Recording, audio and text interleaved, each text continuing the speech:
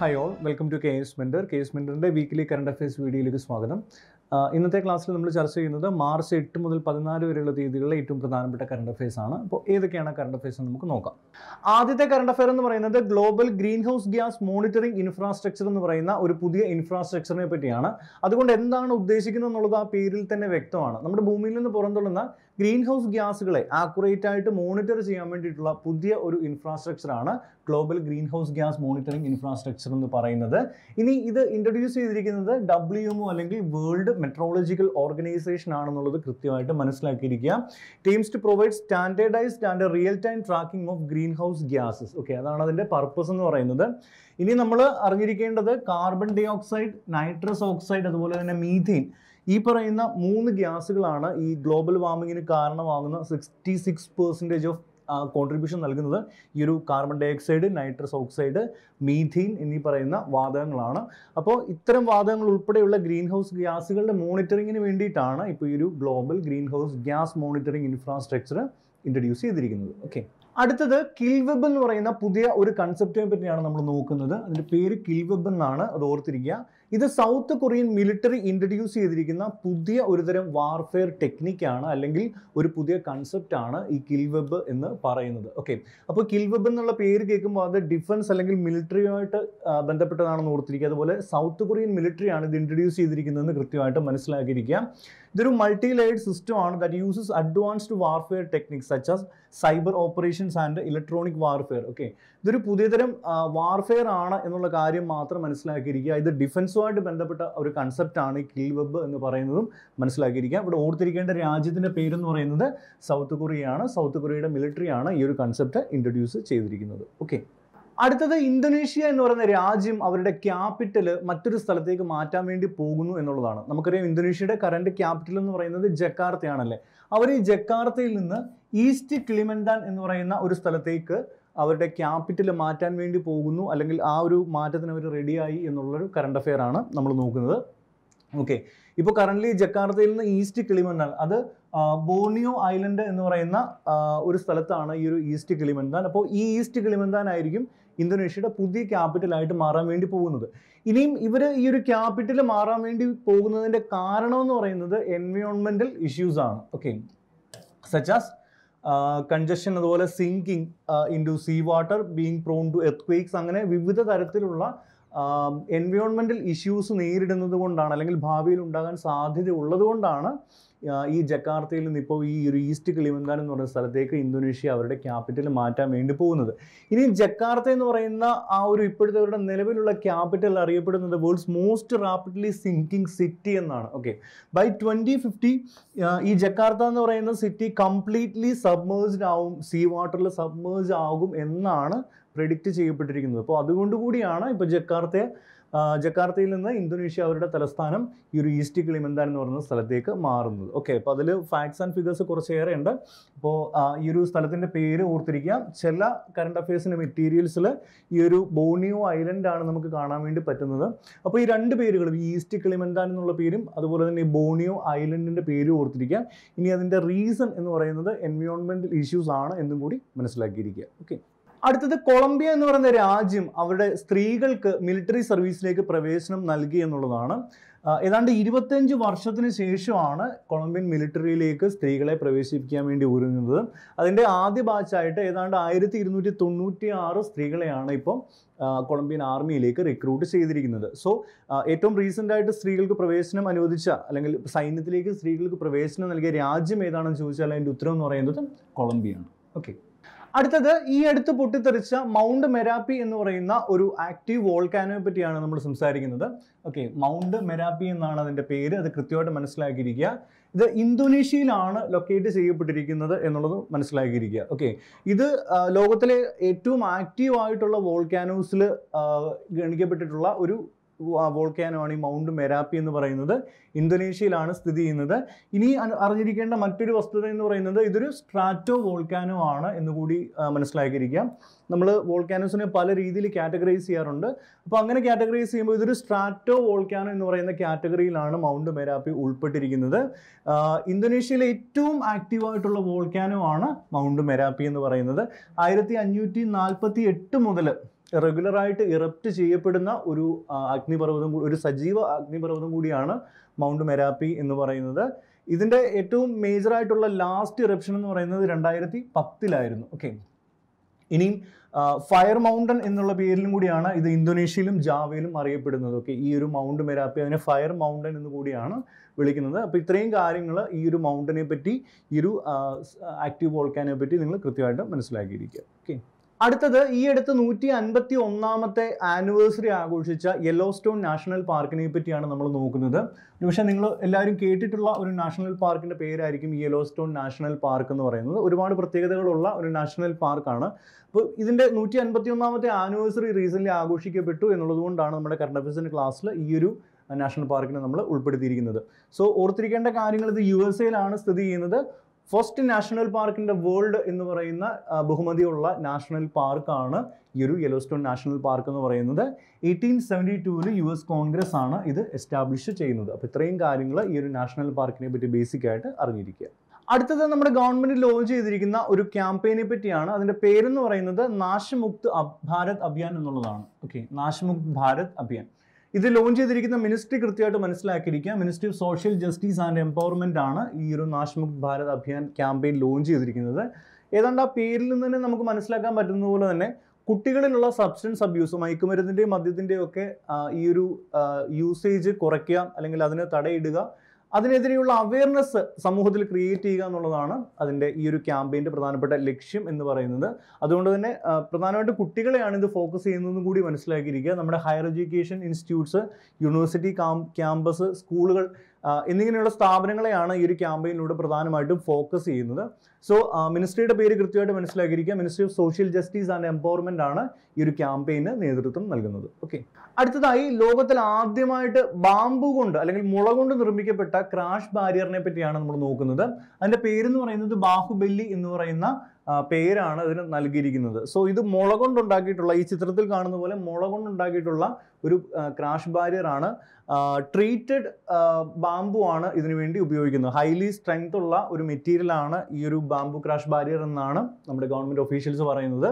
So അറിഞ്ഞിരിക്കുക world's first bamboo crash barrier ആണ്. നമ്മുടെ ബാഹുബലി എന്ന് പറയുന്ന പേരിൽ നമ്മുടെ ഗവൺമെന്റ് ഇൻട്രൊഡ്യൂസ് ചെയ്തിരിക്കുന്നത്. ഇത് ഇൻസ്റ്റാൾ ചെയ്തിരിക്കുന്നത് മഹാരാഷ്ട്രയിലെ വിദർഭയിലാണ്. ഓക്കെ ആദ്യമായിട്ട് ഇൻസ്റ്റാൾ ചെയ്തിരിക്കുന്നത് മഹാരാഷ്ട്രയിലെ വിദർഭയാണ് എന്നുകൂടി മനസ്സിലാക്കിയിരിക്കുക സോ ഈ ഒരു പേര് ഈ ബാഹുബലി എന്ന് പറയുന്ന പേര് ഒരു ബാംബു ക്രാഷ് ബാരിയറിനെ സംബന്ധിച്ചുള്ളതാണെന്ന് കൃത്യമായിട്ട് അറിഞ്ഞിരിക്കുക. ഓക്കെ അടുത്തതായി നമ്മൾ നോക്കുന്നത് landslide atlas of India എന്ന് പറയുന്ന ഏറ്റവും റീസെന്റ് ആയിട്ട് പുറത്തിറക്കിയിരിക്കുന്ന ഐ എസ് ആർ ആണ് പുറത്തിറക്കിയിരിക്കുന്നത്. അപ്പോൾ ഐ എസ് ആർ ഏറ്റവും റീസെന്റ് ആയിട്ട് ലോഞ്ച് ചെയ്തിരിക്കുന്ന landslide atlas of India എന്ന് പറയുന്ന ഒരു പഠന റിപ്പോർട്ടിനെ പറ്റിയാണ്. ഓക്കെ ഈ ഒരു ഓർഗനൈസേഷൻ ഐ എസ് ആർ ആണ് ഇത് ലോഞ്ച് ചെയ്തിരിക്കുന്നത് എന്നുള്ള കാര്യം കൃത്യമായിട്ട് മനസ്സിലാക്കിയിരിക്കുക. ഓക്കെ ഇനി ആയിരത്തി തൊള്ളായിരത്തി തൊണ്ണൂറ്റി എട്ട് മുതൽ രണ്ടായിരത്തി ഇരുപത്തിരണ്ട് വരെയുള്ള ചില ഇവൻസിനെ അടിസ്ഥാനപ്പെടുത്തിയിട്ടാണ് ഐ എസ് ആർ ഈ ഒരു ലാൻഡ് സ്ലൈഡ് അറ്റ്ലസ് നിർമ്മിച്ചിരിക്കുന്നത്. നയന്റീൻ നയന്റി എയ്റ്റ് മുതൽ രണ്ടായിരത്തി ഇരുപത്തിരണ്ട് വരെയുള്ള പഠനഫലങ്ങൾ ചേർത്ത് വെച്ചിട്ടാണ് ഈ landslide atlas of India ഏറ്റവും റീസെന്റ് ആയിട്ടുള്ള ഈ ഒരു atlas I S R launch ചെയ്തിരിക്കുന്നത്. ഇനി നമ്മൾ നോക്കുന്നത് ഈ ഒരു റിപ്പോർട്ടിൽ അല്ലെങ്കിൽ ഈ ഒരു അറ്റ്ലസിൽ പറയുന്ന ഏറ്റവും പ്രധാനപ്പെട്ട ചില കാര്യങ്ങളാണ്. അതിൽ ഒന്നാമത്തേതെന്ന് പറയുന്നത് ഇന്ത്യ എന്ന് പറയുന്ന രാജ്യം top five most landslide prone കൺട്രീസിൽ ഉൾപ്പെടുന്ന ഒരു രാജ്യമാണ് ഇന്ത്യ എന്നുള്ള കാര്യമാണ് പറയുന്നത്. Okay top five most landslide prone countries ഉൾപ്പെടുന്ന രാജ്യമാണ് ഇന്ത്യ. രണ്ടാമത്തേന്ന് പറയുന്നത് നൂറ്റി നാൽപ്പത്തി ഏഴ് ഡിസ്ട്രിക്ട്സിനെയാണ് മൊത്തം ഈ ഒരു ലാൻഡ്സ്ലൈഡ് അറ്റ്ലസിൽ നമ്മൾ അനലൈസ് ചെയ്തത്. അതായത് പതിനേഴ് സ്റ്റേറ്റ്സിലും അതുപോലെ രണ്ട് യൂണിയൻ ടെറിട്ടറികളിലുമുള്ള നൂറ്റി നാൽപ്പത്തി ഏഴ് ഡിസ്ട്രിക്ട്സിനെയാണ് ടോട്ടൽ ഈ ഒരു അറ്റ്ലസ് തയ്യാറാക്കാൻ വേണ്ടി നമ്മൾ അനലൈസ് ചെയ്തത് ടോട്ടൽ ഇനിയും ഇതിലെ ഏറ്റവും പ്രധാനപ്പെട്ട കാര്യം എന്ന് പറയുന്നത് ഉത്തരാഖണ്ഡിലെ രുദ്രപ്രയാഗ് അതുപോലെ തന്നെ തെഹ്രി ഗർവാൾ എന്ന് പറയുന്ന രണ്ട് ഡിസ്ട്രിക്ട്സ് ആണ് ഏറ്റവും കൂടുതൽ ലാൻഡ് സ്ലൈഡ് ഡെൻസിറ്റി ഉള്ള നമ്മുടെ രാജ്യത്തെ ഏറ്റവും കൂടുതൽ ലാൻഡ് സ്ലൈഡ് ഡെൻസിറ്റി ഉള്ള രണ്ട് പ്രദേശങ്ങൾ എന്ന് പറയുന്നത് ഉത്തരാഖണ്ഡിലെ രുദ്രപ്രയാഗും അതുപോലെ തന്നെ തെഹ്രി ഗർവാൾ ഡിസ്ട്രിക്ട്സും ആണ് എന്നാണ് ഈ ഒരു പെർട്ടിക്കുലർ അറ്റ്ലസ് പറയുന്നത്. ഇനി ഏറ്റവും കൂടുതൽ ലാൻഡ് സ്ലൈഡ് ഡെൻസിറ്റി ഉള്ള റീജിയൻ എന്ന് പറയുന്നത് വെസ്റ്റേൺ ഹിമാലയാസ് ആണ്. അതിനുശേഷം നമ്മുടെ വെസ്റ്റേൺ ഗാർഡ്സ് ആണ് ഹയസ്റ്റ് ലാൻഡ്സ്ലൈഡ് ഡെൻസിറ്റി ഉള്ള പ്രദേശം റീജിയൻ ആയിട്ട് ഈ ഒരു ലാൻഡ് സ്ലൈഡ് അറ്റ്ലസിൽ ചൂണ്ടിക്കാണിക്കുന്നത്. ഇനി among southern സ്റ്റേറ്റ്സിൽ most number of landslide hotspot ഉള്ള സംസ്ഥാനം എന്ന് പറയുന്നത് കേരളമാണ് എന്ന് കൂടി മനസ്സിലാക്കിയിരിക്കുക. സോ ഇത് നമ്മുടെ സ്റ്റേറ്റിനെ സംബന്ധിച്ച് പ്രധാനപ്പെട്ട ഒരു വിവരമാണ്. അപ്പോൾ ഇത് ലാൻഡ്സ്ലൈഡ് അറ്റ്ലസ് ഓഫ് ഇന്ത്യയിൽ ഇൻക്ലൂഡ് ചെയ്തിരിക്കുന്ന ഒരു വിവരമാണ് നമ്മുടെ സംസ്ഥാനത്തെ പറ്റി. അപ്പോൾ ഇത്രയും കാര്യങ്ങൾ ഈ ഒരു അറ്റ്ലസിനെ പറ്റി കൃത്യമായിട്ട് മനസ്സിലാക്കിയിരിക്കുക. സോ ഐ എസ് ആർ ആണ് ഈ ഒരു landslide atlas atlas of India പുറത്തിറക്കിയിരിക്കുന്നത് എന്നുള്ള കാര്യം കൃത്യമായിട്ട് അറിഞ്ഞിരിക്കുക. ഓക്കെ അടുത്തത് എം ടി വൺ അല്ലെങ്കിൽ മെഗാ ട്രോപ്പിക്കസ് വൺ എന്ന് പറയുന്ന ഒരു പെർട്ടിക്കുലർ സാറ്റലൈറ്റിനെ പറ്റിയാണ് നമ്മൾ നോക്കുന്നത്. ഈ ഒരു സാറ്റലൈറ്റ് എന്ന് പറയുന്നത് ഒരു ഡീകമ്മീഷൻഡ് സാറ്റലൈറ്റ് ആണ്. അതായത് ഇപ്പോൾ നിലവിൽ ഉപയോഗത്തിലില്ലാത്ത ഡീകമ്മീഷൻ ചെയ്യപ്പെട്ട ഒരു സാറ്റലൈറ്റ് ആണ് ഈ ട്രോ മെഗാ ട്രോപ്പിക്കസ് വൺ അല്ലെങ്കിൽ എം ടി വൺ എന്ന് പറയുന്ന പെർട്ടിക്കുലർ സാറ്റലൈറ്റ് എന്ന് പറയുന്നത്. സോ എന്തുകൊണ്ടാണ് ഇതിപ്പോൾ നമ്മുടെ കറണ്ട് അഫെയറിനകത്ത് വന്നിരിക്കുന്നത്?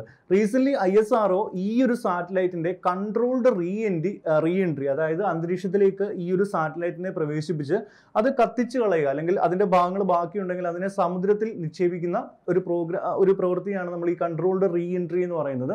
സോ അങ്ങനത്തെ ഒരു പ്രവൃത്തി ഇപ്പോൾ ഐ എസ് ആർ കണ്ടക്ട് ചെയ്യാൻ വേണ്ടി പോവുകയാണ്.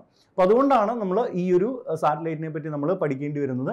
സോ ഓർത്തിരിക്കുക ഇത് ഒരു ഇൻഡോ ഫ്രഞ്ച് സാറ്റലൈറ്റ് ആണ് ഓൾറെഡി ഡീകമ്മീഷൻഡ് ആയിട്ടുള്ള ഒരു ഇൻഡോ ഫ്രഞ്ച് സാറ്റലൈറ്റ് ആണ് ഈ എം ടി വണ്ണ് എന്ന് പറയുന്നത്. ഓക്കെ ഇത് എന്ത് പർപ്പസിന് വേണ്ടിയിട്ടാണ് വിക്ഷേപിച്ചതെന്ന് ചോദിച്ചാൽ to study tropical weather and climate okay tropical weather and ക്ലൈമറ്റിനെ പറ്റി പഠിക്കാൻ വേണ്ടി അയച്ച ഇൻഡോ ഫ്രഞ്ച് സാറ്റലൈറ്റ് ആണ് എം ടി വൺ എന്ന് പറയുന്നത്.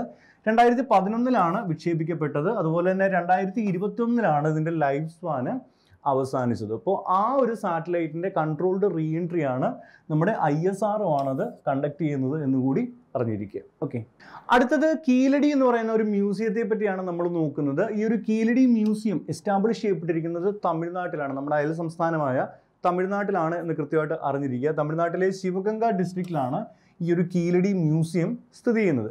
ഈ ഒരു കീലടി എന്ന് പറയുന്ന പേര് നമ്മൾ ഇതിനു മുമ്പ് നമ്മുടെ കറണ്ട് അഫയേഴ്സിന്റെ ക്ലാസ്സിൽ പഠിച്ചിട്ടുണ്ട്. കീലടി എന്ന് പറയുന്നത് സംഘം ഏജിനെ പറ്റിയുള്ള എക്സ്കവേഷൻസ് വളരെ ആക്റ്റീവായിട്ട് നടക്കുന്ന തമിഴ്നാട്ടിലെ ഒരു സ്ഥലമാണ് ഈ കീലടി എന്ന് പറയുന്നത്. സോ അവിടെയാണ് ഈ ഒരു കീലടി മ്യൂസിയം ഇപ്പോൾ എസ്റ്റാബ്ലിഷ് ചെയ്യപ്പെട്ടിരിക്കുന്നത്. സോ സ്വാഭാവികമായിട്ട് നിങ്ങൾക്ക് മനസ്സിലാവും ഇത് സംഘം ഏജുമായിട്ട് ബന്ധപ്പെട്ട ആർട്ടിഫാക്ട്സ് ഷോക്കേസ് ചെയ്യുന്ന ഒരു മ്യൂസിയമാണ് ഈ ഒരു കീലടി മ്യൂസിയം എന്ന് പറയുന്നത്. ഓക്കെ തമിഴ് ഏൻഷ്യൻ തമിഴ് ആളുകളുടെ അവരുടെ ലൈഫ് അല്ലെങ്കിൽ അവരുടെ സിവിലൈസേഷനെ പറ്റിയുള്ള നമ്മൾ ശേഖരിച്ചിട്ടുള്ള വിവരങ്ങളാണ് ഇവിടെ ഷോക്കേസ് ചെയ്യുന്നത്. സോ ഇത് സംഘം ഏജുമായിട്ട് ബന്ധപ്പെട്ട മ്യൂസിയം ആണ് എന്ന് കൃത്യമായിട്ട് നിങ്ങൾ മനസ്സിലാക്കിയിരിക്കുക. ഏതാണ്ട് സിക്സ്ത് സെഞ്ചുറി ബി സി മുതലുള്ള ആളുകളുടെ അല്ലെങ്കിൽ ആ ഒരു സമയത്തുണ്ടായിരുന്ന സിവിലൈസേഷന്റെ സംബന്ധിച്ചുള്ള വിവരങ്ങൾ. അത് ഏതാണ്ട് ആയിരത്തി പതിനയ്യായിരം യുണീക്ക് ആർട്ടിഫാക്ട്സ് ആണ് ഈ ഒരു മ്യൂസിയത്തിൽ ഷോക്കേസ് ചെയ്തിരിക്കുന്നത്. സോ അന്ന് നമ്മൾ ഈ ഒരു കീലടി മ്യൂസിയം അല്ലെങ്കിൽ കീലടി എക്സ്കവേഷന്റെ കാര്യങ്ങൾ പറഞ്ഞപ്പോൾ ഞാൻ പറഞ്ഞിരുന്നു ഈ ഒരു പ്രദേശത്ത് നടത്തിയ എക്സ്കവേഷൻസ് അനുസരിച്ചാണ് ഈ സംഘം ഏജ് എന്ന് പറയുന്നത് എണ്ണൂറ് ബി സി വരെ പഴക്കമുള്ളതാണ് എന്ന് നമ്മുടെ ആർക്കിയോളജിക്കൽ സർവേ ഓഫ് ഇന്ത്യ കണ്ടെത്തിയത്. നേരത്തെ നമ്മൾ വിചാരിച്ചിരുന്നത് മുന്നൂറ് ബി സി പഴക്കം ഉള്ളതാണ് ഈ സംഘം ഏജ് എന്നാണ് നമ്മുടെ ആർക്കിയോളജിക്കൽ സർവേ ഓഫ് ഇന്ത്യ വിചാരിച്ചിരുന്നത്. പക്ഷേ ഇവിടെ കണ്ടെത്തിയ ചില കാര്യങ്ങൾ അല്ലെങ്കിൽ ഇവിടെ നടത്തിയ എക്സ്കവേഷൻസിന് ഫലമായിട്ടാണ് ഈ ഒരു സംഘം ഏജ് എന്ന് പറയുന്നത്. എണ്ണൂറ് ബി സി പഴക്കമുള്ള ഒരു സിവിലൈസേഷൻ ആണ് എന്ന് നമ്മുടെ എ എസ് ഐ നിർണയിച്ചത്. സോ അത് അത്ര ഇമ്പോർട്ടന്റ് ആയിട്ടുള്ള ഫാക്റ്റാണ് നമ്മുടെ ഹിസ്റ്ററിയുമായിട്ട് വളരെ ഇമ്പോർട്ടന്റ് ആയിട്ടുള്ള ഒരു സ്ഥലമാണ് ഈ കീലടി എന്ന് പറയുന്നത്. സോ അവിടെയാണ് ഇപ്പോൾ ഈ ഒരു മ്യൂസിയം സ്ഥിതി ചെയ്യുന്നത് അത് തമിഴ്നാട്ടിലാണ്. തമിഴ്നാട്ടിലെ ശിവഗംഗ ഡിസ്ട്രിക്റ്റിലാണ് എന്ന് കൂടി മനസ്സിലാക്കിയിരിക്കുക. ഓക്കെ അടുത്തതായി നമ്മൾ നോക്കുന്നത് ഓക്സിജൻ എയ്റ്റീൻ അല്ലെങ്കിൽ ഹെവി ഓക്സിജൻ എന്നറിയപ്പെടുന്ന ഒരു പദാർത്ഥത്തെ പറ്റിയാണ്. ഓക്കെ ഓക്സിജൻ എയ്റ്റീൻ അല്ലെങ്കിൽ ഹെവി ഓക്സിജൻ ഓക്കെ നമ്മൾ ശ്വസിക്കാൻ ഉപയോഗിക്കുന്ന സാധാരണ ഓക്സിജനിൽ നിന്നും ചില വ്യത്യാസങ്ങളുള്ള ഒരു ഓക്സിജന്റെ വെറൈറ്റിയാണ് ഈ ഒരു ഓക്സിജൻ എയ്റ്റീൻ എന്ന് പറയുന്നത്. എന്താണ് വെറൈറ്റി എന്നുള്ളത് ഞാൻ പറയാം. അപ്പോൾ ഇപ്പോൾ എന്തുകൊണ്ടാണ് ഈ ഒരു ഓക്സിജൻ എയ്റ്റീൻ നമ്മുടെ കറണ്ട് അഫയേഴ്സിന്റെ ക്ലാസ്സിൽ ഉൾപ്പെട്ടിരിക്കുന്നത്? അതായത് ഫോർ ദ ഫസ്റ്റ് ടൈം ഈ ഒരു ഓക്സിജൻ എയ്റ്റീൻ എർത്തിന്റെ മീസോസ്ഫിയർ ആൻഡ് ലോവർ തെർമോസ്ഫിയറിൽ നമ്മുടെ റിസർച്ചേഴ്സ് ഐഡന്റിഫൈ ചെയ്തു എന്നുള്ളതാണ്. സ്വാഭാവികമായിട്ട് ഇത് ലബോറട്ടറി കണ്ടീഷൻസിലാണ് ഈ ഒരു ഓക്സിജൻ എയ്റ്റീൻ കാണപ്പെടുന്നത്. പക്ഷേ ഈ ഒരു ലബോറട്ടറി കണ്ടീഷൻസിന് പുറത്ത് ആദ്യമായിട്ടാണ് റിസർച്ചേഴ്സ് ഈ ഒരു ഓക്സിജൻ എയ്റ്റീൻ ഐഡന്റിഫൈ ചെയ്യുന്നത്. ഇനി ഐഡന്റിഫൈ ചെയ്തിരിക്കുന്നത് നാസയുടെ stratospheric observatory for infrared astronomy അല്ലെങ്കിൽ സോഫിയ എന്ന് പറയുന്ന ചുരുക്കപ്പേരിൽ അറിയപ്പെടുന്ന നാസയുടെ ഒരു ഒബ്സർവേറ്ററിയാണ് ഈ ഒരു പ്രധാനപ്പെട്ട കണ്ടുപിടുത്തം ഇപ്പോൾ നടത്തിയിരിക്കുന്നത്. ഓക്കെ ഇനി എന്താണ് ഓക്സിജൻ എയ്റ്റീൻ അല്ലെങ്കിൽ സാധാരണ ഓക്സിജനിൽ നിന്നും എന്താണ് ഓക്സിജൻ എയ്റ്റീന്റെ വ്യത്യാസം എന്ന് പറയുന്നത്? ഓക്കെ നമ്മൾ ശ്വസിക്കുന്ന സാധാരണ ഓക്സിജൻ ഓക്കെ അതിന്റെ ന്യൂക്ലിയസിലുള്ളത് എട്ട് പ്രോട്ടോണും എട്ട് ന്യൂട്രോണുമാണ് പക്ഷേ ഈ ഓക്സിജൻ എയ്റ്റീൻ അല്ലെങ്കിൽ ഹെവി ഓക്സിജൻ എന്ന് പറയുമ്പോൾ അവിടെ എട്ട് പ്രോട്ടോണും പത്ത് ന്യൂട്രോണും ആണ് ഇതിന്റെ ന്യൂക്ലിയസിൽ ഉൾപ്പെട്ടിരിക്കുന്നത്. ഓക്കെ. അപ്പോൾ രണ്ട് ന്യൂട്രോൺസ് അവിടെ എക്സ്ട്രാ ആണ്. സോ അതുകൊണ്ടാണ് ഈ ഒരു ഓക്സിജൻ എയ്റ്റീന് നമ്മൾ ഹെവി ഓക്സിജൻ എന്നുകൂടി വിളിക്കുന്നത്. ഓക്കെ. അപ്പോൾ ഇതാണ് ഹെവി ഓക്സിജൻ അല്ലെങ്കിൽ ഓക്സിജൻ എയ്റ്റീൻ എന്ന് പറയുന്നത്. അപ്പോൾ ഇത്രയും കാര്യങ്ങൾ നിങ്ങൾ ഇതിനെപ്പറ്റി മനസ്സിലാക്കിയിരിക്കുക. ഓക്കെ അടുത്തത് നമ്മുടെ reserve bank of India launch ചെയ്തിരിക്കുന്ന ഒരു പെർട്ടിക്കുലർ മിഷനെ പറ്റിയാണ് അതിന്റെ പേരെന്ന് പറയുന്നത് ഹർ പേയ്മെന്റ് ഡിജിറ്റൽ എന്നുള്ളതാണ്. ഓക്കെ ഡിജിറ്റൽ പേയ്മെന്റിനെ എൻഹാൻസ് ചെയ്യാൻ വേണ്ടി തന്നെ ഇറക്കിയിരിക്കുന്ന ഒരു പെർട്ടിക്കുലർ മിഷനാണ് ഈ ഒരു ഹർ പേയ്മെന്റ് ഡിജിറ്റൽ അത് ആ പേരിൽ നിന്ന് തന്നെ നമുക്ക് കൃത്യമായിട്ട് മനസ്സിലാക്കി എടുക്കാൻ പറ്റും. അപ്പോൾ ഓർത്തിരിക്കുക റിസർവ് ബാങ്ക് ഓഫ് ഇന്ത്യയാണ് ഈ ഒരു മിഷൻ ലോഞ്ച് ചെയ്തിരിക്കുന്നത് എന്നുള്ളത് കൃത്യമായിട്ട് മനസ്സിലാക്കിയിരിക്കുക. റിസർവ് ബാങ്ക് ഓഫ് ഇന്ത്യയുടെ digital payment awareness week March ആറ് മുതൽ പന്ത്രണ്ട് വരെയാണ് നമ്മൾ ഡിജിറ്റൽ പേയ്മെന്റ്സ് അവയർനെസ് വീക്കായിട്ട് ഒബ്സർവ് ചെയ്തത്. സോ ആ ഒരു വീക്കിന്റെ ഭാഗമായിട്ടാണ് നമ്മൾ ഈ ഒരു മിഷൻ ഹർ പേയ്മെന്റ് ഡിജിറ്റൽ എന്ന് പറയുന്ന മിഷൻ ലോഞ്ച് ചെയ്തിരിക്കുന്നത്. ഓർത്തിരിക്കാം ആർ ബി ഈ ഒരു മിഷൻ ലോഞ്ച് ചെയ്തിരിക്കുന്നത്. വളരെ ഇമ്പോർട്ടന്റ് ആണ്. ഓക്കെ അടുത്തത് നമ്മുടെ ministry of housing and urban affairs launch ചെയ്തിരിക്കുന്ന മറ്റൊരു ക്യാമ്പയിനെ പറ്റിയാണ്. അതിന്റെ പേരെന്ന് പറയുന്നത് സ്വച്ഛോത്സവ് എന്നുള്ളതാണ്. ഓക്കെ സ്വച്ഛോത്സവ്. സ്വച്ഛോത്സവം എന്ന് പറയുന്നത് ഒരു വുമൺ ലെഡ് സ്വച്ഛതാ ക്യാമ്പയിൻ ആണ് എന്ന് കൃത്യമായിട്ട് മനസ്സിലാക്കിയിരിക്കുക. ഒരു വുമൺ ലെഡ് ക്യാമ്പയിൻ ആണ് സ്വച്ഛതാ ക്യാമ്പയിൻ ആണ്. സ്വച്ഛോത്സവ് എന്ന് പറയുന്നത് ministry of housing and urban affairs ആണ് ഇത് ലോഞ്ച് ചെയ്തിരിക്കുന്നത്. ഓക്കെ ഇത് സ്വച്ഛ് ഭാരത് മിഷൻ അർബന്റെ കീഴിൽ അർബൻ മിഷന്റെ കീഴിലാണ് ഇത് ലോഞ്ച് ചെയ്തിരിക്കുന്നത്. അതൊരു ഒരു പ്രധാനപ്പെട്ട സ്കീമാണ് സ്വച്ഛ് ഭാരത് മിഷന്റെ ഒരു വിങ് ആണ് Swachh Bharat mission urban two point എന്ന് പറയുന്നത്. അപ്പോൾ ആ ഒരു മിഷന്റെ അല്ലെങ്കിൽ ആ ഒരു സ്കീമിന്റെ കീഴിലാണ് ഈ ഒരു സ്വച്ഛോത്സവം എന്ന് പറയുന്ന ക്യാമ്പയിൻ ലോഞ്ച് ചെയ്തിരിക്കുന്നത്. ഒരു വുമൺ ലെഡ് ക്യാമ്പയിൻ ആണ് എന്ന് ഓർത്തിരിക്കുക. അതുപോലെ തന്നെ ഇന്റർനാഷണൽ വുമൻസ് ഡേ മാർച്ച് എട്ടിനാണ് നമ്മൾ ഇന്റർനാഷണൽ വുമൻസ് ഡേ ഒബ്സർവ് ചെയ്യുന്നത്. സോ അതിന്റെ ഭാഗമായിട്ടാണ് നമ്മുടെ ministry of housing and urban affairs ഈ ഒരു സ്വച്ഛോത്സവം എന്ന് പറയുന്ന ക്യാമ്പയിൻ ലോഞ്ച് ചെയ്തിരിക്കുന്നത്. ഓക്കെ അടുത്തതായി നമ്മൾ നോക്കുന്നത് ലീൻ എന്ന് പറയുന്ന ഒരു ഗവൺമെന്റ് സ്കീമിനെ പറ്റിയാണ്. റീസെന്റ് ലോഞ്ച് ചെയ്തിരിക്കുന്ന ഒരു സ്കീമാണ് ലീൻ സ്കീം എന്ന് പറയുന്നത്. ഓക്കെ ഏത് മിനിസ്ട്രിയാണ് ഇത് ലോഞ്ച് ചെയ്തിരിക്കുന്നതെന്ന് ചോദിച്ചാൽ ministry of M S M E അല്ലെങ്കിൽ എം എസ് എം ഇ എന്ന് പറഞ്ഞാൽ micro small and medium enterprises okay അപ്പോൾ അതിനെ ചുരുക്കപ്പേരിൽ വിളിക്കുന്നതാണ് എം എസ് എം ഇ എന്ന്. അപ്പോൾ എം എസ് എം ഇ മിനിസ്ട്രിയാണ് ഈ ഒരു ലീൻ സ്കീം ലോഞ്ച് ചെയ്തിരിക്കുന്നതെന്ന് കൃത്യമായിട്ട് മനസ്സിലാക്കിയിരിക്കുക. സോ അതിന്റെ ഫുൾ അതിന്റെ ഫുൾ ഫോം എന്ന് പറയുന്നത് M S M E competitive lean scheme എന്നുള്ളതാണ്. ഓക്കെ അപ്പോൾ നമ്മുടെ ഓർത്തിരിക്കുക ലീൻ സ്കീം തന്നെ നിങ്ങൾ മനസ്സിലാക്കിയിരുന്നാൽ മതി. ഇനി ലീൻ സ്കീം സ്വാഭാവികമായിട്ട് ഇപ്പോൾ എന്തിനു വേണ്ടിയിട്ടായിരിക്കും? എം എസ് എം ഇകൾക്ക് വേണ്ടി ലോഞ്ച് ചെയ്തിരിക്കുന്ന ഒരു സ്കീം ആയിരിക്കും അല്ലേ? ഇതിന്റെ ഒബ്ജക്റ്റീവ് എന്ന് പറയുന്നത് to provide a road map to domestic and global competitiveness for the M S M Es of India okay ഇന്ത്യയിലെ എം എസ് എം ഇസിനുള്ള ആ ഒരു കോമ്പറ്റേറ്റീവ്നെസ് ഡൊമസ്റ്റിക് ലെവലിലും ഗ്ലോബൽ ലെവലിലും ഉള്ള കോമ്പറ്റേറ്റീവ്നെസ് എൻഹാൻസ് ചെയ്യുക എൻഷുർ ചെയ്യുക എന്നുള്ള ലക്ഷ്യത്തോടെയാണ് ലീൻ എന്ന് പറയുന്ന ഈ ഒരു സ്കീം ലോഞ്ച് ചെയ്തിരിക്കുന്നത്. ഓർത്തിരിക്കുക ministry of M S M E ആണ് ഇത് ലോഞ്ച് ചെയ്തിരിക്കുന്ന മിനിസ്ട്രി എന്ന് പറയുന്നത്. ഇനി ഈ ഒരു സ്കീം ഇംപ്ലിമെന്റ് ചെയ്യുന്നത് രണ്ട് ഏജൻസികൾ ചേർന്നിട്ടാണ്. ഒന്ന് ക്വാളിറ്റി കൗൺസിൽ ഓഫ് ഇന്ത്യ അതുപോലെ തന്നെ നാഷണൽ പ്രൊഡക്ടിവിറ്റി കൗൺസിൽ ഈ രണ്ട് ഏജൻസികൾ ചേർന്നിട്ട് അല്ലെങ്കിൽ ഓർഗനൈസേഷൻസ് ചേർന്നിട്ടാണ് ഈ ഒരു ലീൻ സ്കീം ഇംപ്ലിമെന്റ് ചെയ്യാൻ വേണ്ടി പോകുന്നത്. ഓക്കെ അടുത്തത് മധ്യപ്രദേശ് ഗവൺമെന്റ് അവിടെ റീസെന്റ് ആയിട്ട് ഒരു പുതിയ ഡിസ്ട്രിക്റ്റിനെ അനൗൺസ് ചെയ്തു. അനൗൺസ് ചെയ്തിരിക്കുന്ന ഡിസ്ട്രിക്റ്റിന്റെ എന്ന് പറയുന്നത് മൗഗഞ്ച് എന്നുള്ളതാണ് ഓർത്തിരിക്കാം ഇനി ഈ ഒരു മൗഗഞ്ച് എന്ന് പറയുന്ന പുതിയ ഡിസ്ട്രിക്ട് വന്നതോടുകൂടി മധ്യപ്രദേശിലെ ടോട്ടൽ നമ്പർ ഓഫ് ഡിസ്ട്രിക്ട്സ് എന്ന് പറയുന്നത് അൻപത്തി മൂന്നാണ് അപ്പോൾ ഈ രണ്ട് കാര്യങ്ങൾ കൃത്യമായിട്ട് മധ്യപ്രദേശിനെ സംബന്ധിച്ച് മനസ്സിലാക്കിയിരിക്കുക. ഓക്കെ. അടുത്തതായി നമ്മൾ നോക്കുന്നത് ഒരു six digit H U I D നമ്പറിനെ പറ്റിയാണ്. Okay. H U I D number എന്ന് പറയുന്നത് ഹോൾമാർക്ക് യുണീക്ക് ഐഡന്റിഫിക്കേഷൻ നമ്പർ എന്നുള്ളതാണ്. അതിന്റെ ഫുൾ ഫോം എന്ന് പറയുന്നത്. H U I D number എന്ന് പറയുന്നത് ഹോൾമാർക്ക് യുണീക്ക് ഐഡന്റിഫിക്കേഷൻ നമ്പർ എന്നുള്ളതാണ്. അപ്പോൾ നിങ്ങൾക്ക് സ്വാഭാവികമായിട്ട് മനസ്സിലായി കാണും ഇത് ഗോൾഡ് ജ്വല്ലറിക്ക് നൽകുന്ന ഒരു യുണീക്ക് ഐഡന്റിഫിക്കേഷൻ നമ്പറാണ് ഒരു സിക്സ് ഡിജിറ്റ് നമ്പറാണിത് ഓക്കെ അപ്പോൾ ഏറ്റവും റീസെന്റ് ആയിട്ടുള്ള ഡിപ്പാർട്ട്മെന്റ് ഓഫ് കൺസ്യൂമർ അഫയേഴ്സിന്റെ ഏറ്റവും റീസെന്റ് ആയിട്ടുള്ള നിർദ്ദേശങ്ങൾ അനുസരിച്ച് ഒന്ന് ഏപ്രിൽ രണ്ടായിരത്തി ഇരുപത്തി മൂന്ന് മുതൽ ഈ ഒരു സിക്സ് ഡിജിറ്റ് നമ്പർ എല്ലാ ഗോൾഡ് ജ്വല്ലറിലും നിർബന്ധമായിട്ട് ഉണ്ടായിരിക്കണം എന്നാണ് പറഞ്ഞിരിക്കുന്നത്. അപ്പോൾ നിലവിൽ ഉള്ളത് ഒരു four digit U H I D H U I D നമ്പറാണ് അപ്പോൾ അതിനെ റീപ്ലേസ് ചെയ്തുകൊണ്ടാണ് ഈ ഒരു six digit alphanumeric number introduce ചെയ്തിരിക്കുന്നത്. സോ ഈ H U I D number എന്ന് പറയുന്നത് ഗോൾഡ് ജ്വല്ലറിയുമായിട്ട് ബന്ധപ്പെട്ടിരിക്കുന്ന ഒരു നമ്പറാണെന്ന് മനസ്സിലായിരിക്കാം. ആറ് ഡിജിറ്റ് ആണ് അതിനുള്ളത്. ആൽഫബറ്റ്സ് ആൻഡ് നമ്പേഴ്സ് ഇൻക്ലൂഡ് ചെയ്തിട്ടുള്ള ഒരു ആൽഫ ന്യൂമറിക് നമ്പറാണ് ഈ H U I D number എന്ന് പറയുന്നത്. ഓക്കെ അടുത്തതായിട്ട് നമ്മൾ നോക്കുന്നത് നമ്മൾ ഈ അടുത്ത് പത്രത്തിലൊക്കെ വായിച്ചറിഞ്ഞ സിലിക്കൺ വാലി ബാങ്ക് എന്ന് പറയുന്ന ഒരു പെർട്ടിക്കുലർ ബാങ്കിന്റെ തകർച്ചയെ പറ്റിയാണ്. ഓക്കെ ആ ബാങ്കിന്റെ പേരാണ് ഈ സിലിക്കൺ വാലി ബാങ്ക് എന്ന് പറയുന്നത്. അപ്പോൾ അതിനെപ്പറ്റി നിങ്ങൾ അറിഞ്ഞിരിക്കേണ്ടത് ഇത് ബാങ്ക് സ്ഥിതി ചെയ്യുന്നത് യു എസ് എയിലാണ് യു എസ് എയിലെ കാലിഫോർണിയയിലുള്ള സാന്റാക്ലാര എന്ന് പറയുന്ന സ്ഥലത്താണ് ഇതിന്റെ ഹെഡ് ക്വാർട്ടേഴ്സ് എന്ന് പറയുന്നത്. സോ ഈ ഒരു ബാങ്കിന്റെ തകർച്ചയെ പറ്റി പറയുന്നത് രണ്ടായിരത്തി എട്ടിലെ ഫൈനാൻഷ്യൽ ക്രൈസിസിന് ശേഷമുള്ള ഏറ്റവും വലിയ ബാങ്ക് തകർച്ചയായിട്ടാണ് ഈ സാമ്പത്തിക വിദഗ്ധർ ഈ ഒരു ബാങ്കിന്റെ തകർച്ചയെ വിലയിരുത്തുന്നത്. ഇനി ഇതുമായിട്ട് അറിഞ്ഞിരിക്കേണ്ട അല്ലെങ്കിൽ ഈ ഒരു ബാങ്കിനെ പറ്റി അറിഞ്ഞിരിക്കേണ്ട മറ്റൊരു കാര്യം എന്ന് പറയുന്നത് യു എസ് എയിലെ പതിനാറാമത്തെ ലാർജസ്റ്റ് ബാങ്കായിട്ടാണ് ഈ ഒരു സിലിക്കൺ വാലി ബാങ്ക് അറിയപ്പെടുന്നത്. സോ ഇത്രയും കാര്യങ്ങൾ ഈ ഒരു ബാങ്കിനെ പറ്റി നിങ്ങൾ കൃത്യമായിട്ട് മനസ്സിലാക്കിയിരിക്കുക. ഇനി നമ്മൾ നോക്കാൻ വേണ്ടി പോകുന്നത് ചില പ്രധാനപ്പെട്ട അപ്പോയിൻമെന്റ്സ് റെസിഗ്നേഷൻസ് അങ്ങനെയുള്ള കാര്യങ്ങളാണ്. അതിൽ ഒന്നാമത്തേതെന്ന് പറയുന്നത് നമ്മുടെ മേഘാലയ എന്ന് പറയുന്ന സംസ്ഥാനത്തിന്റെ ചീഫ് മിനിസ്റ്ററായിട്ട് രണ്ടാമത്തെ കോൺസിക്യൂട്ടീവ് ടൈം അപ്പോയിന്റ് ചെയ്യപ്പെട്ടിരിക്കുന്ന വ്യക്തിയാണ് കോൺട്രാക്ട് സാങ്മ എന്ന് പറയുന്നത്. മേഘാലയ ഗവർണർ എന്ന് പറയുന്നത് ഫാഗു ചൗഹാനാണ് എന്ന് കൂടി ഓർത്തിരിക്കുക. അടുത്തത് നാഗാലാൻഡിന്റെ സി എം ആയിട്ട് അപ്പോയിന്റ് ചെയ്യപ്പെട്ടിരിക്കുന്ന വ്യക്തി എന്ന് പറയുന്നത് നെയ്ഫു റിയോ ആണ്. ഈ നാഗാലാൻഡിന്റെ ഗവർണർ എന്ന് പറയുന്നത് ലാ ഗണേശനാണ്. ഓക്കെ. അഞ്ചാമത്തെ തവണയാണ് നെയ്ഫു റിയോ നാഗാലാൻഡിന്റെ സി എം ആയിട്ട് അധികാരത്തിൽ കയറുന്നത്. ഓക്കെ.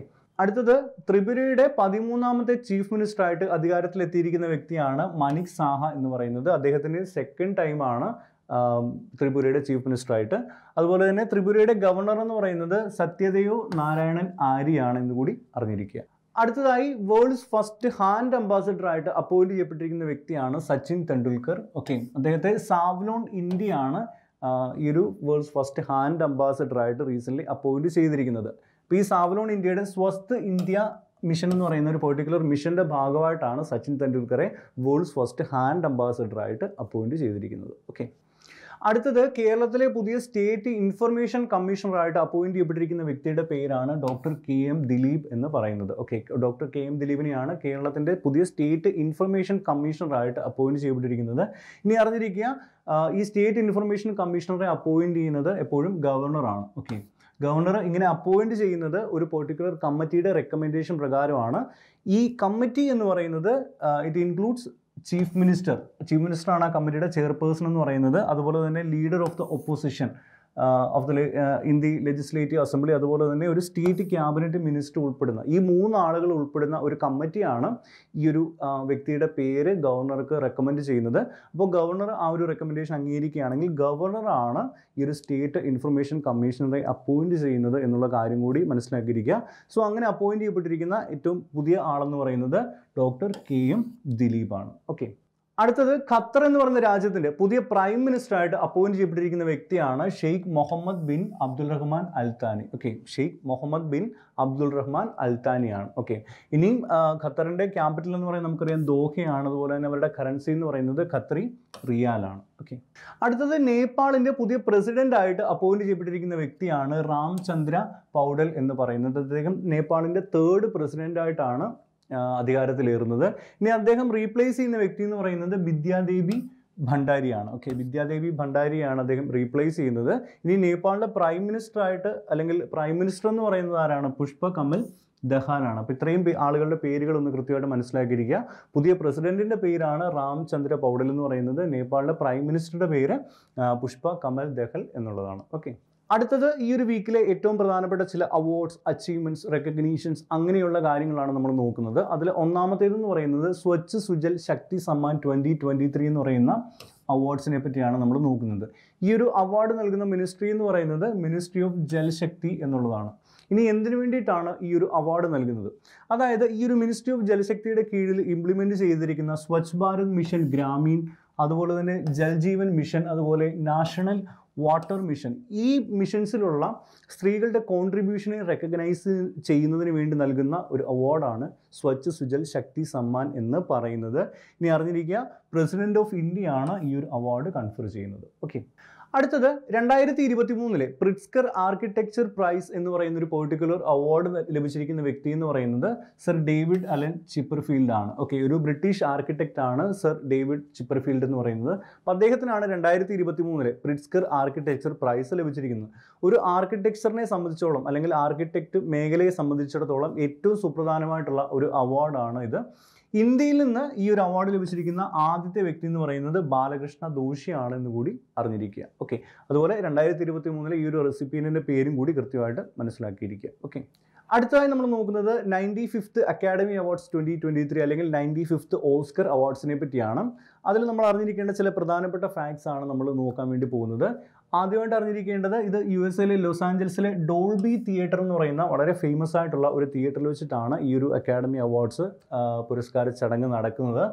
ഇനിയും ഈ ഒരു സെറിമണി ഹോസ്റ്റ് ചെയ്ത വ്യക്തി എന്ന് പറയുന്നത് ജിമ്മി കിമ്മൽ എന്ന് പറയുന്ന ഒരു അമേരിക്കൻ ടെലിവിഷൻ ഹോസ്റ്റ് ആണ്. അദ്ദേഹത്തിന്റെ പേര് ജിമ്മി കിമ്മൽ ആണ് ഓർത്തിരിക്കുക. ഇന്ത്യയിൽ നിന്നുള്ള ദീപിക പാതുക്കോൺ ഇന്ത്യൻ ആക്ട്രസ് ആയിട്ടുള്ള ദീപിക പാതുക്കോൺ ഈ ഒരു അവാർഡിന്റെ വൺ ഓഫ് ദി പ്രസന്റേഴ്സ് ആയിരുന്നു എന്നുകൂടി മനസ്സിലാക്കിയിരിക്കുക ഇനി ഏറ്റവും പ്രധാനപ്പെട്ട ചില അവാർഡ്സ് ആണ്. ഒരുപാട് അവാർഡുകളുടെ കാറ്റഗറി ഉണ്ട്. അതിൽ ഏറ്റവും പ്രധാനപ്പെട്ട അവാർഡ്സ് മാത്രമാണ് നമ്മൾ നോക്കുന്നത്. അതിൽ ഒന്നാമത്തേന്ന് പറയുന്നത് ആക്ടർ ഇൻ ലീഡിംഗ് റോൾ ആ ഒരു അതിനുള്ള ഓസ്കർ അവാർഡ് ലഭിച്ചിരിക്കുന്നത് ബ്രണ്ടൻ ഫ്രേസർ എന്ന് പറയുന്ന വ്യക്തിക്കാണ്. മൂവിയുടെ നെയിം എന്ന് പറയുന്നത് ദ വെയിൽ എന്നുള്ളതാണ്. ഓക്കെ ഇനി actress in leading role Michelle Yeoh എന്ന് പറയുന്ന ആക്ട്രസിനാണ് ഈ ഒരു അവാർഡ് ലഭിച്ചിരിക്കുന്നത്. അഭിനയിച്ചിരിക്കുന്ന സിനിമ എന്ന് പറയുന്നത് everything everywhere all at once എന്ന് പറയുന്ന സിനിമയാണ്. ഓക്കെ വളരെ ഇമ്പോർട്ടന്റ് ആയിട്ടൊരു സിനിമയായിരുന്നു ഈ വർഷത്തെ ഓസ്കർ അവാർഡ്സിൽ മൊത്തത്തിൽ ആറ് ഓസ്കാറുകളാണ് ഈ ഒരു everything everywhere all at once എന്ന് പറയുന്ന സിനിമ നേടിയിരിക്കുന്നത്.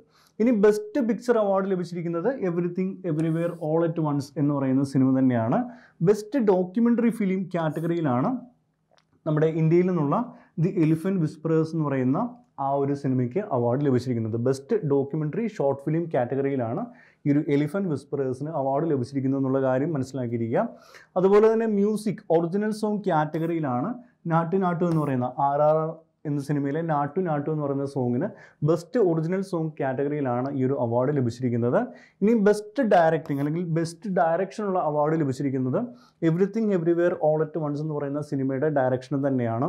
ഡാനിയൽ ബ്രദേഴ്സ് എന്നറിയപ്പെടുന്ന രണ്ട് വ്യക്തികൾക്കാണ് ഈ ഒരു ഓസ്കർ ലഭിച്ചിരിക്കുന്നത്. ഓക്കെ ഡാനിയൽ ക്വാൻ അതുപോലെ തന്നെ ഡാനിയൽ ഷിനേർട്ട് എന്ന് പറയുന്ന രണ്ട് വ്യക്തികൾക്കാണ് ഡാനിയൽ ബ്രദേഴ്സ് എന്നാണ് അവർ അറിയപ്പെടുന്നത്. അപ്പോൾ ഈ രണ്ട് വ്യക്തികൾക്കാണ് ബെസ്റ്റ് ഡയറക്ഷനുള്ള അവാർഡ് ലഭിച്ചിരിക്കുന്നത്. ഓക്കെ. അപ്പോൾ ഇത്രയുമാണ് ഓസ്കർ അവാർഡിനെ പറ്റി നമ്മൾ അറിഞ്ഞിരിക്കേണ്ട ഇമ്പോർട്ടന്റ് ആയിട്ടുള്ള ചില ഫാക്ട്സ് എന്ന് പറയുന്നത്. അപ്പോൾ അത് കൃത്യമായിട്ട് മനസ്സിലാക്കിയിരിക്കുക. ഓക്കെ. അടുത്തത് രണ്ടായിരത്തി ഇരുപത്തിരണ്ടിലെ വനിതാ രത്ന അവാർഡിനെ പറ്റിയാണ് നമ്മൾ നോക്കുന്നത്. കേരള ഗവൺമെന്റ് നൽകുന്ന ഒരു അവാർഡാണ് ഈ ഒരു വനിതാ രത്ന അവാർഡ് എന്ന് പറയുന്നത്. ഓക്കെ. അപ്പോൾ രണ്ടായിരത്തി ഇരുപത്തിരണ്ടിലെ ഈ ഒരു അവാർഡിന് അർഹരായിട്ടുള്ളത് നാല് സ്ത്രീകളാണ്. അതിൽ ഒന്നാമത്തേതെന്ന് പറയുന്നത് കെ സി ലേഖ. അത് സ്പോർട്സുമായിട്ട് ബന്ധപ്പെട്ട ഒരു വനിതയാണ്. അതുപോലെ തന്നെ നിലമ്പൂർ ആയിഷ. ഓക്കെ. ഒരു തിയേറ്റർ ആർട്ടിസ്റ്റാണ്. അതുപോലെ തന്നെ ലക്ഷ്മി എൻ മേനോൻ. ഒരു woman and children empowerment activist ആണ്. അതുപോലെ തന്നെ doctor R S Sindhu medical science ഡോക്ടറാണ് മെഡിക്കൽ സയൻസുമായിട്ട് ബന്ധപ്പെട്ട വ്യക്തിയാണ്. അപ്പോൾ ഈ നാല് വ്യക്തികൾക്കാണ് രണ്ടായിരത്തി ഇരുപത്തിരണ്ടിലെ കേരള ഗവൺമെന്റിന്റെ വനിതാ രത്ന അവാർഡ് ലഭിച്ചിരിക്കുന്നത്. ഇനി ഈ അവാർഡ് എന്ന് പറയുന്നത് ഒരു ലക്ഷം രൂപയും സൈറ്റേഷനുമാണ് ഈ ഒരു അവാർഡിനകത്ത് ഇൻക്ലൂഡ് ചെയ്യപ്പെട്ടിരിക്കുന്നത്. ഓക്കെ ഇനി നമ്മൾ നോക്കാൻ വേണ്ടി പോകുന്നത് ഈ ഒരു വീക്കിലെ ഏറ്റവും ഇമ്പോർട്ടന്റ് ആയിട്ടുള്ള ഡിഫൻസുമായിട്ട് ബന്ധപ്പെട്ട ചില കറണ്ട് അഫയേഴ്സ് ആണ്. അതിൽ ഒന്നാമത്തേതെന്ന് പറയുന്നത് I M X C twenty three എന്ന് പറയുന്ന ഒരു പെർട്ടിക്കുലർ മിലിറ്ററി എക്സസൈസ് ആണ്. അല്ലെങ്കിൽ international maritime exercise twenty twenty three എന്ന് പറയുന്ന ഒരു പെർട്ടിക്കുലർ എക്സസൈസ് ആണ്. ഇത് ഗൾഫ് റീജിയനിൽ വെച്ചാണ് നടന്നത് എന്നുള്ളതാണ്. ഇന്ത്യൻ നേവി ആദ്യമായിട്ടാണ് ഒരു ഇന്റർനാഷണൽ ഈ ഒരു ഇന്റർനാഷണൽ മാരിടൈം എക്സസൈസിൽ പങ്കെടുക്കുന്നത്. Okay I N S Trikand എന്ന് പറയുന്ന ഒരു വാർഷിപ്പാണ് ഈ ഒരു I M X C twenty twenty ത്രീയിലെ Indian നേവിയെ പ്രതിനിധീകരിച്ചുകൊണ്ട് പങ്കെടുത്തതെന്നുകൂടി അറിഞ്ഞിരിക്കുക. ഓക്കെ അടുത്തത് ഫ്രിഞ്ചെക്സ് ട്വന്റി ത്രീ എന്ന് പറയുന്ന ഒരു മിലിറ്ററി എക്സസൈസ് ആണ്. ഇത് ഇന്ത്യൻ ആർമിയും ഫ്രഞ്ച് ആർമിയും തമ്മിൽ നടക്കുന്ന first ever joint military exercise ആണ് ഈ ഫ്രിഞ്ചെക്സ് ട്വന്റി ത്രീ എന്ന് പറയുന്നത്. ഇത് തിരുവനന്തപുരത്ത് വെച്ചാണ് നടന്നത്. തിരുവനന്തപുരത്തെ പാങ്ങോട് മിലിറ്ററി സ്റ്റേഷനിൽ വെച്ചിട്ടാണ് ഈ ഒരു ഫ്രിഞ്ചെക്സ് ട്വന്റി ട്വന്റി ത്രീ നടന്നിരിക്കുന്നത്. സോ ഇത് ഇന്ത്യൻ ആർമിയും ഫ്രഞ്ച് ആർമിയും തമ്മിലുള്ള ഒരു മിലിറ്ററി എക്സസൈസ് ആണെന്ന് കൃത്യമായിട്ട് മനസ്സിലാക്കിയിരിക്കുക. ഓക്കെ അടുത്തത് ട്രോപ്പക്സ് ട്വന്റി ട്വന്റി ത്രീ എന്ന് പറയുന്ന ഒരു മിലിറ്ററി എക്സസൈസ് ആണ്. Okay Tropex twenty twenty three ഇത് ഇന്ത്യൻ നേവിയുടെ ലാർജസ്റ്റ് വാർ ഗെയിമാണ് എന്നുള്ള കാര്യം ആ ഒരു ഫാക്ട് കൃത്യമായിട്ട് മനസ്സിലാക്കിയിരിക്കുക. ഇന്ത്യൻ നേവിയുടെ ലാർജസ്റ്റ് വാർ ഗെയിമിന്റെ പേരാണ് ട്രോപ്പക്സ് ട്വന്റി ട്വന്റി ത്രീ ഇത് നടന്നത് ഇന്ത്യൻ ഓഷ്യൻ റീജിയനിലാണ് അതുപോലെ തന്നെ അറേബ്യൻ സീയിലാണ് ഈ ഒരു എക്സസൈസ് അവസാനിച്ചത്. ഓക്കെ അപ്പോൾ ട്രോപ്പക്സ് ട്വന്റി ട്വന്റി ത്രീ എന്ന് പറയുന്നത് ഇന്ത്യൻ നേവി കണ്ടക്ട് ചെയ്യുന്ന ലാർജസ്റ്റ് വാർ ഗെയിമാണ് ഓക്കെ അടുത്തതായിട്ട് exercise La peruse twenty twenty three എന്ന് പറയുന്ന ഒരു എക്സസൈസിനെ പറ്റിയാണ് നമ്മൾ നോക്കുന്നത്. ഇതൊരു ഫ്രഞ്ച് നേവി നേതൃത്വം നൽകുന്ന ഒരു മൾട്ടി ലാറ്ററൽ എക്സസൈസ് ആണ് ഒരു മിലിറ്ററി എക്സസൈസ് ആണ് എക്സസൈസ് ലാ പെറൂസ് എന്ന് പറയുന്നത്. അതിന്റെ ട്വന്റി ട്വന്റി ത്രീ എഡിഷൻ ആണ്. അത് നടന്നത് ഇന്ത്യൻ ഓഷ്യൻ ഏരിയയിൽ വെച്ചിട്ടാണ് എന്നുള്ളത് ഓർത്തിരിക്കുക. ഫ്രഞ്ച് നേവിയാണ് ഈ ഒരു എക്സസൈസ് ലാ പെറൂസിന് നേതൃത്വം നൽകുന്നത്. Australia France India Japan U S A U K ഇത്രയും രാജ്യങ്ങളിൽ നിന്നുള്ള നേവിയാണ് ഈ ഒരു എക്സസൈസിൽ എക്സസൈസ് ലാബ് ഇത്തവണ പങ്കെടുത്തിരിക്കുന്നത്. ഓക്കെ ഇനി സ്പോർട്സുമായിട്ട് ബന്ധപ്പെട്ടുള്ള ഇമ്പോർട്ടന്റ് ആയിട്ടുള്ള ഒരു കറണ്ട് അഫെയർ എന്ന് പറയുന്നത് ഇന്റർനാഷണൽ ബോക്സിംഗ് അസോസിയേഷന്റെ women's world boxing championship twenty twenty three അത് ന്യൂഡൽഹിയിൽ വെച്ചിട്ടാണ് നടന്നുകൊണ്ടിരിക്കുന്നതെന്ന് ഓർത്തിരിക്കുക. ഇന്ത്യയിൽ ഇത് ബോക്സിംഗ് ഫെഡറേഷൻ ഓഫ് ഇന്ത്യയാണ് ഇതിന് നേതൃത്വം നൽകുന്നത്. ഇനി ഈ ഒരു ടൂർണമെന്റിന്റെ അല്ലെങ്കിൽ ഈ ഒരു ചാമ്പ്യൻഷിപ്പിന്റെ ബ്രാൻഡ് അംബാസഡേഴ്സ് ആയിട്ട് അപ്പോയിന്റ് ചെയ്യപ്പെട്ടിരിക്കുന്ന രണ്ട് വ്യക്തികൾ എന്ന് പറയുന്നത് എം സി മേരി കോം അതുപോലെ തന്നെ ബോളിവുഡ് ആക്ടറായ ഫർഹാൻ അക്തർ. ഈ രണ്ട് വ്യക്തികളാണ് ഈ ഒരു മത്സരത്തിന്റെ അല്ലെങ്കിൽ ഈ ഒരു ചാമ്പ്യൻഷിപ്പിന്റെ ബ്രാൻഡ് അംബാസഡേഴ്സ് അംബാസഡേഴ്സ് ആയിട്ട് നിയമിതരായിരിക്കുന്നത്. ഓക്കെ ഇനിയും ഈ ഒരു വീക്കിൽ നമ്മൾ ഓർത്തിരിക്കാനുള്ള ചില ഇമ്പോർട്ടന്റ് ആയിട്ടുള്ള ദിവസങ്ങൾ എന്ന് പറയുന്നത് ഒന്ന് ഇന്റർനാഷണൽ വിമൻസ് ഡേ ആണ്. മാർച്ച് എട്ടിനാണ് നമ്മൾ ഇന്റർനാഷണൽ വുമൻസ് ഡേ ആയിട്ട് ഒബ്സർവ് ചെയ്യുന്നത്. ഇപ്പോൾ രണ്ടായിരത്തി ഇരുപത്തി മൂന്നിലെ ഇന്റർനാഷണൽ വുമൻസ് ഡേയുടെ തീം എന്ന് പറയുന്നത് digit all innovation and technology for gender equality എന്നുള്ളതാണ്. Digit all innovation and technology for gender equality okay അടുത്ത വളരെ ഇമ്പോർട്ടന്റ് ആയിട്ടുള്ള ഒരു ഡേ ആണ് international day of action for rivers എന്ന് പറയുന്നത്. മാർച്ച് പതിനാലിനാണ് നമ്മൾ international day of action for rivers ആയിട്ട് നമ്മൾ ഒബ്സർവ് ചെയ്യുന്നത്. നമ്മുടെ നിത്യജീവിതത്തിൽ നദികൾക്ക് എത്രത്തോളം പ്രാധാന്യമുണ്ട് എന്ന് ഓർമ്മിക്കുന്ന ഒരു ദിവസമാണ് ഈ ഒരു international day of action for rivers എന്ന് പറയുന്നത്. ഓർത്തിരിക്കുക മാർച്ച് പതിനാലിനാണ് നമ്മൾ ഈ ഒരു ഡേ ആയിട്ട് ഒബ്സർവ് ചെയ്യുന്നത്. ഇനി രണ്ടായിരത്തി ഇരുപത്തി മൂന്നിലെ ഈ ഒരു ഡേയുടെ തീം എന്ന് പറയുന്നത് റൈറ്റ്സ് ഓഫ് റിവേഴ്സ് എന്നുള്ളതാണ്. ഓക്കെ റൈറ്റ്സ് ഓഫ് റിവേഴ്സ് അപ്പോൾ ഇത്രയും കാര്യങ്ങളാണ് നമുക്ക് ഈ ഒരു വീക്കിലെ കറണ്ട് അഫയേഴ്സിന്റെ ക്ലാസ്സിൽ നമുക്ക് ചർച്ച ചെയ്യാൻ വേണ്ടിയിട്ടുള്ളത്. അപ്പോൾ എന്തെങ്കിലും കാര്യങ്ങൾ സംശയങ്ങളും ഉണ്ടെങ്കിൽ നിങ്ങൾ തീർച്ചയായിട്ടും കമന്റ് ബോക്സിൽ കമന്റായിട്ട് രേഖപ്പെടുത്തുക. അപ്പോൾ കൂടുതൽ ഫാക്ട്സുമായിട്ട് നമുക്ക് അടുത്ത ആഴ്ചത്തെ കറണ്ട് അഫയേഴ്സിന്റെ ക്ലാസ്സിൽ വീണ്ടും കാണാം. Thank you.